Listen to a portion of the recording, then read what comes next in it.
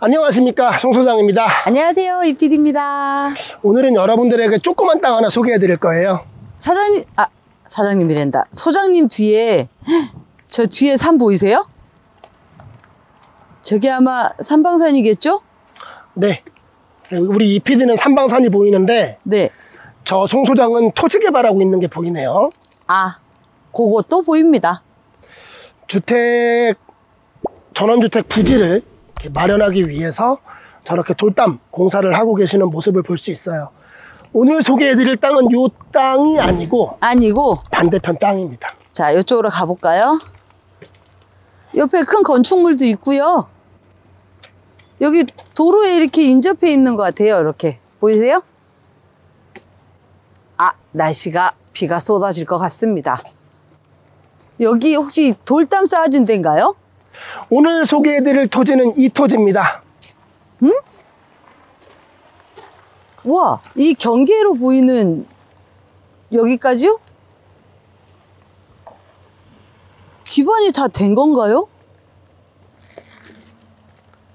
네, 일단 기반이 되어 있죠. 네, 전기 수도 다 있습니다. 중요한 건 지목이 대지예요. 오, 그럼 아무 데나 하셔도 되겠네요? 네, 일단 건축 허가를 받으셔야 되긴 하지만 뭐 대지기 때문에 농지 전용비라든지 그런 게 들지 않는 그런 땅이 되겠고 대지기 때문에 법인도 매입이 가능하시고 타 지역분도 그냥 매입이 가능하시고 관리도 안 하셔도 되는 그런 토지가 되겠습니다. 그럼 소장님 경계가 여기 담이 있잖아요.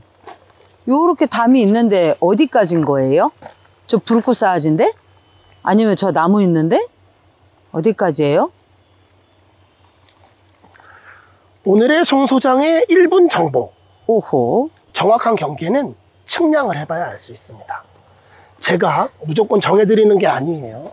근데 예상하기로는 이렇게 돌담이 쌓아진 돌담이 쌓아진 부분이 경계로 보입니다.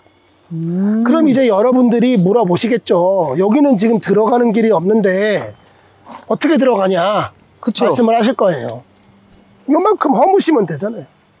차 들어갈 수 있는 만큼. 돌담은 밀고 들어가시면 됩니다. 그럼 요, 요 앞에 여기도 서비스 공간처럼 쓸 수 있겠네요? 그렇죠. 지적도 상으로는 뭐 한 요쯤이 도로예요. 그쵸. 네. 근데 그냥 뭐 내 집 주차장처럼 사용하셔도 나라에서 아마 뭐라고 안 할 겁니다. 그러니까 여기를 지금 보이시는 데를 입구를 삼으시고 그다음에 안으로 들어가시면 되는데 바닥이 다 돼 있어서 옆에는 텃밭처럼 꾸미실 수 있겠어요.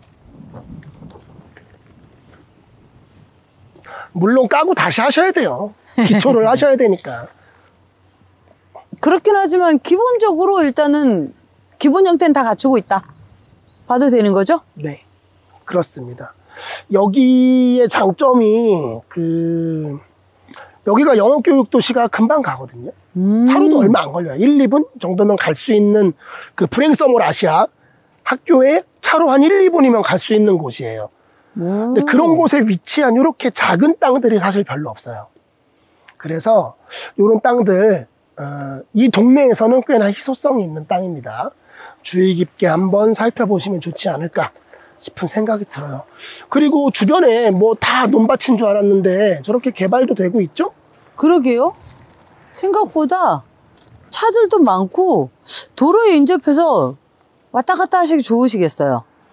조그만 하나의 마을이 형성되지 않을까 싶은 그런 생각이 드는 토지가 되겠습니다. 산방산 뷰도 보이고 바다 뷰는 한 3층 지으면 나올 수 있겠. 아무튼 여기는 막히는 게 없이 시원합니다. 네, 오늘 선선한 날인데 바람까지 살랑살랑 부니 굉장히 기후 조건도 괜찮은 그런 곳이 아닌가 싶은 생각이 듭니다. 네. 그 영어 교육 도시는 사실 고자와를 밀고 지은 거잖아요. 그러니까 사실은 영어 교육 도시 자체 내가 거긴 전부 다 고자왈이었어요. 오. 거기를 밀고 지은 거여서 그만큼 제주도의 숨구멍이 살아있는 동네라고 보시면 됩니다. 그래서 기후 조건도 상당히 괜찮다. 그렇게 보시면 될 것 같아요. 자, 그럼 매물 정리 한번 해보도록 하겠습니다. 네.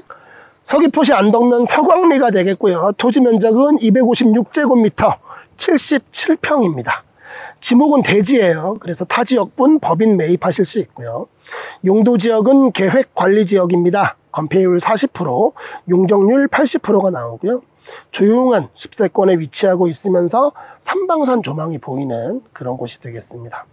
건축 허가도 가능한 토지고요. 도로폭은 약 4m가량이 되겠습니다. 전기하고 상수도 토지 앞에 되어 있고요. 여기서 버스 정류장이 걸어서 4분이니까 멀지 않은 곳에 위치를 하고 있습니다. 그리고 브랭서몰 아시아 국제학교죠. 그리고 서광초등학교, 제주 신화월드, 그리고 유명 관광지인 오설록 모두 다 차로 5분 이내에 가실 수 있는 가까운 거리에 위치를 하고 있고요. 가까운 해안가인 용머리 해안이 차로 10분 거리에 위치를 하고 있습니다. 마지막으로 제주공항에서는 차로 45분 정도 걸리는 거리에 위치를 하고 있네요. 네, 괜찮습니다. 이 동네 이 정도 땅값이면 예, 저는 찾아본 봐본 적이 별로 없는 것 같아요. 이렇게 어, 국제학교와 가깝게 위치해 있는 그것도 대지 건축이 가능한 그런 토지가 이 정도 금액이라는 거는 확실히 매력이 있는 그런 상태는 맞는 것 같아요. 그러니까 그 국제학교 인근에 좀 조그마한 어떤 전원주택 부지를 생각하셨던 분들은 이 토지 한번 눈여겨 살펴보시면 좋을 것 같습니다. 더 자세한 궁금증이나 문의사항이 있으시면 저 송소장한테 연락을 주시면 저 송소장이 아주 성심성의껏 친절하게 여러분들에게 답변을 해드리도록 하겠습니다. 지금까지 서귀포시 안덕면 서광리에 위치한 국제학교 인근의 소형 전원주택 부지 매물을 소개해드렸습니다. 감사합니다.